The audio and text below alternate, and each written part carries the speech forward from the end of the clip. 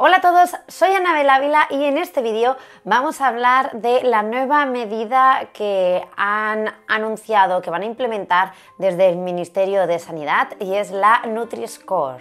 ¿vale? ¿De qué se trata em, esta nueva metodología para etiquetar los alimentos? Bien, pues más o menos de aquí a un año será obligatorio que todos los productos del sector de la alimentación lleven esta etiqueta que va a funcionar como un semáforo, ¿vale? Y lo deben llevar en el frontal de los productos. Se supone que para que todo el mundo pueda hacer mejores elecciones en la cesta de la compra y por lo tanto eh, mejores elecciones para su salud y seguramente para los individuos de su familia, ¿no? como unidad familiar. Eh, ¿Cómo funciona exactamente esta score? ¿Vale? Que digamos que es como una puntuación de alimentos. Pues como un semáforo, como os decía, comienza por un tono verde oscuro y se va degradando hasta mm, el rojo más potente y estos son cinco letras, ¿vale? A, B, C, D, E.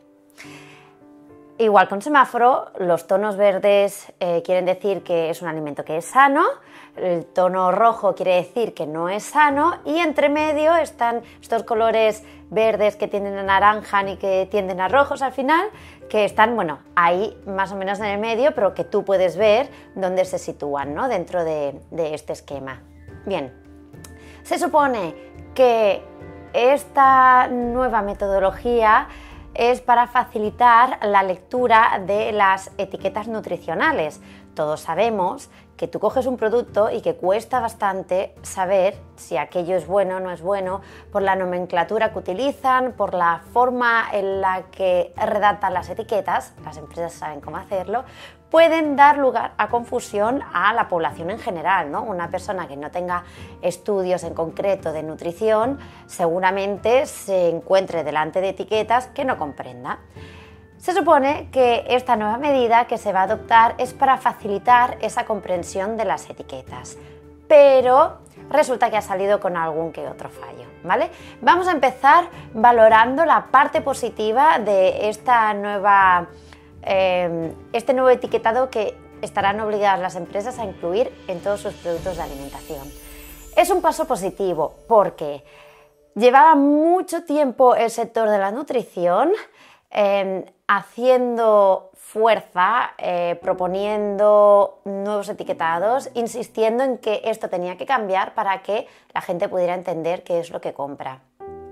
En sí, el método no es el mejor porque tiene algunos vacíos, pero sí que hay que destacar que por lo menos los productos que son realmente productos basuras van a quedar totalmente delatados y van a tener un etiquetado rojo. ¿Vale? Si un alimento es ultraprocesado, contiene muchos azúcares añadidos, es alto en grasas, es imposible que tenga una buena puntuación en esta escala de valores que le van a dar a los productos de alimentación y saldrá con un tono rojo. Esto quiere decir que será fácil de identificar los alimentos que realmente son una basura nutricional para ti. Si decides comprar uno de estos alimentos, sabrás, por lo menos muy dentro de ti, serás consciente de que has hecho la peor elección posible a nivel nutricional sobre, bueno, eso que has decidido comprar para luego llevártelo a la boca. Sabrás que es lo peor que has podido comprar. Y bueno, la responsabilidad será tuya, pero tendrás claro que ese producto era malo.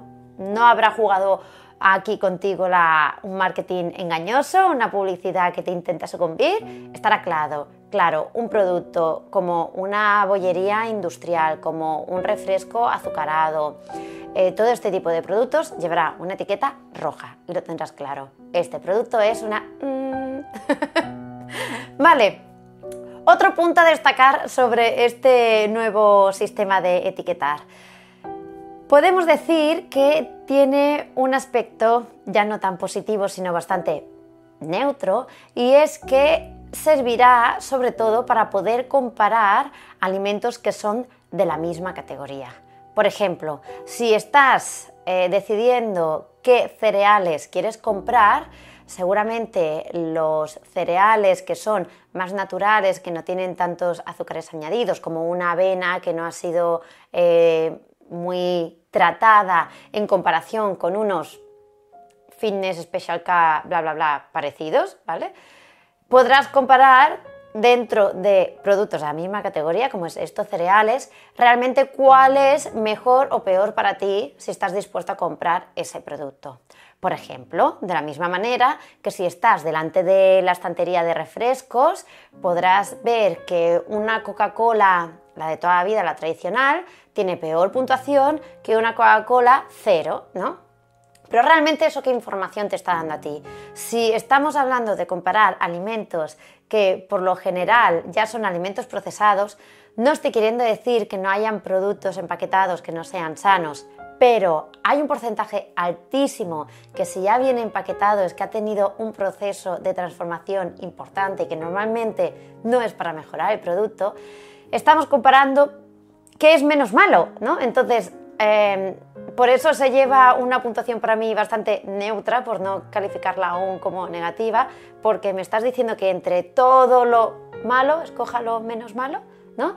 Funciona sobre todo, ya os digo, para poder comparar eh, alimentos de la misma categoría, pero son alimentos principalmente procesados, con lo que tampoco seguramente aunque escogieras el menos malo de esa categoría, no quiere decir que sea bueno para ti. Como por ejemplo, como os he dicho, una Coca-Cola cero, que aparentemente es mejor que una Coca-Cola tradicional, aunque tenga mejor puntuación, no es una buena elección para ti y eso puede dar pie a confusión.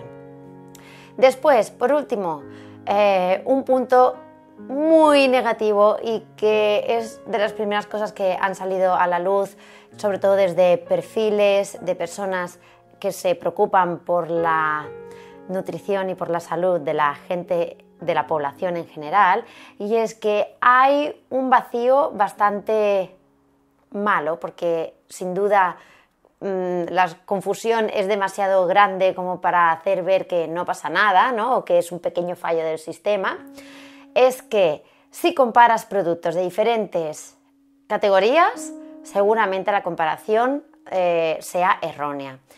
El sistema da puntos a los productos de una manera bastante simplista, como por ejemplo por la cantidad de azúcares, la cantidad de grasas saturadas, como si todas las grasas saturadas fueran igual y en realidad dependen del origen de, de la grasa, ¿no?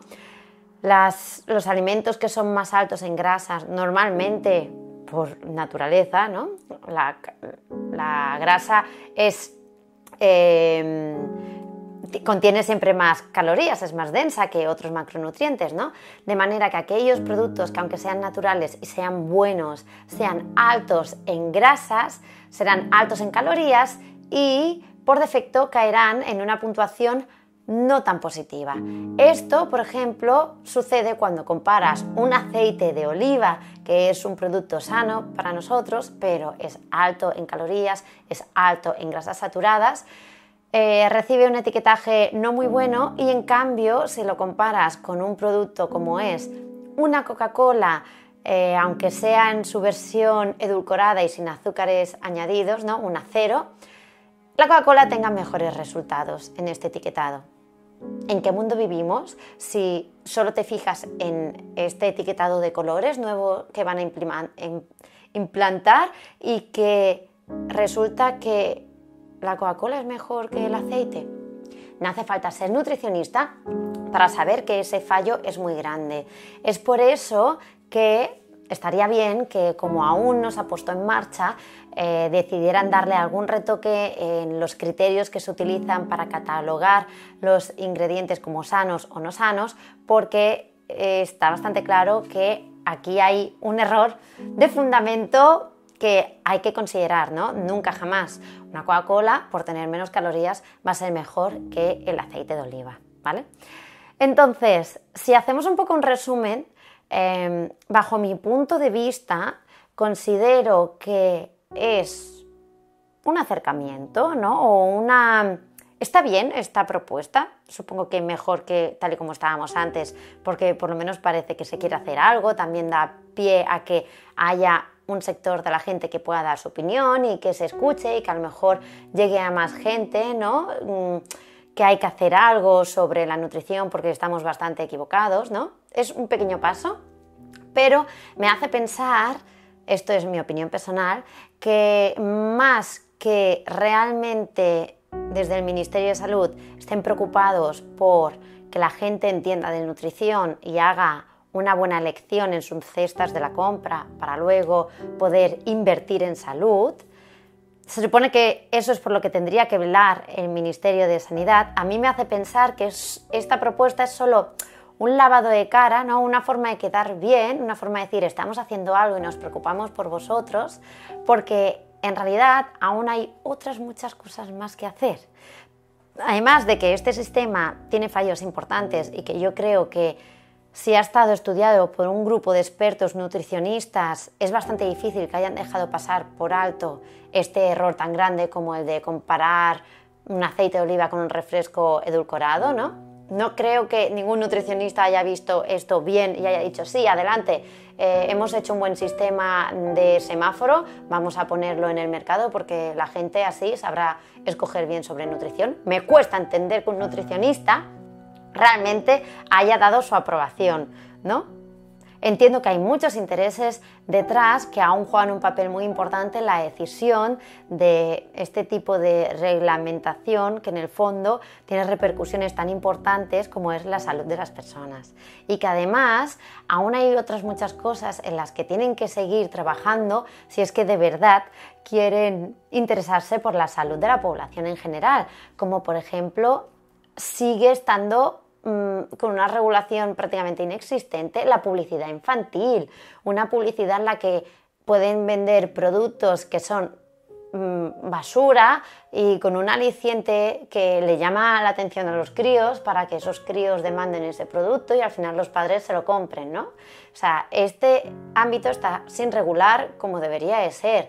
Eh, la comida que se pone en los hospitales está claro que es un tema que también tienen que revisar, lo digo porque no hace tanto, pues que yo en primera persona lo pude experimentar porque tuve un familiar ingresado durante una larga temporada y tenía que ver qué tipos de comidas le daban. Yo me estiraba de los pelos, eh, sin contar con los vendings y bueno, hay muchas cosas aún en las que el Ministerio de Salud podría hacer algo por mejorar, eh, bueno, este aspecto de nutrición. Espero que poco a poco se vayan poniendo las pilas, pero me queda la sospecha de que aún hacen muchas cosas simplemente por quedar bien y no realmente porque les interesen, como os decía, mm, la salud de la población en general, ¿vale? No hay que olvidar que tiene un punto positivo importante, ahora quedará claro que los productos basura son basura, excepto por el aceite de oliva y alguno más que se escape, ¿no? Pero los que estén con etiquetado rojo Mm, seguramente es porque realmente son malos, pero aún hay mm, unas zonas muy grises que pueden generar bastante confusión y que igual tampoco han añadido tanta claridad a aquel consumidor que coge algo y quiere saber qué está comprando. ¿no? Eh, espero que mejore, estoy segura de que poco a poco la fuerza que iremos ejerciendo todos aquellos que queremos que todo sea más claro eh, dará sus resultados. Mientras tanto, yo eh, he estado recopilando en un libro todas las bases para una buena nutrición, ¿vale? Más allá de que te den un papel y que te digan tienes que comer esto, esto, esto y esto y que no sepas qué hacer cuando se termine una dieta, con este libro eh, que he escrito este último año, yo soy Paleo, os dejo aquí el link directo. Quiero que aprendas de forma sencilla, porque está escrito para aquellas personas que no saben nutrición, pero para que entiendan el valor de la comida sana, cómo repercute esto en nuestra salud, para que estemos en nuestro peso, para que no tengamos enfermedades serias, para que vivamos muchos años pero de forma sana, buena, ¿vale? Mm, para que tengas a mano todas estas herramientas, no solo teóricas, sino también prácticas, que puedas llevar tú em, a cabo y que interiorices en tu día a día sin que tengas que seguir una dieta que esté escrito todo paso por paso. O sea, en este libro te explico todo lo que necesitas para que seas autosuficiente y tú mismo puedas escoger qué es aquello que realmente te está aportando salud y no que te está quitando salud, porque lamentablemente hoy por hoy es un poco difícil distinguir eh, con todos los inputs que recibimos qué información es real, qué información está sesgada por otros intereses. ¿no?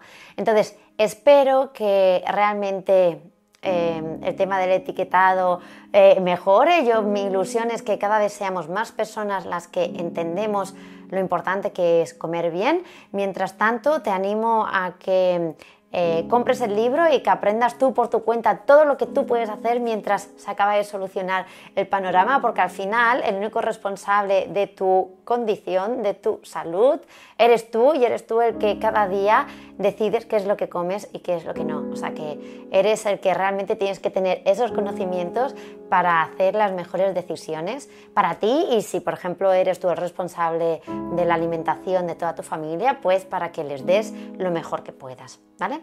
Eh, bueno, después de todo esto, supongo que aún así habrán opiniones muy diversas.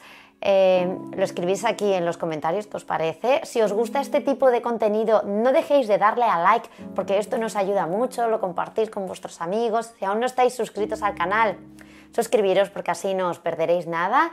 Y nada, quedo pendiente de todo lo que comentáis. Nos vemos muy pronto en el próximo vídeo.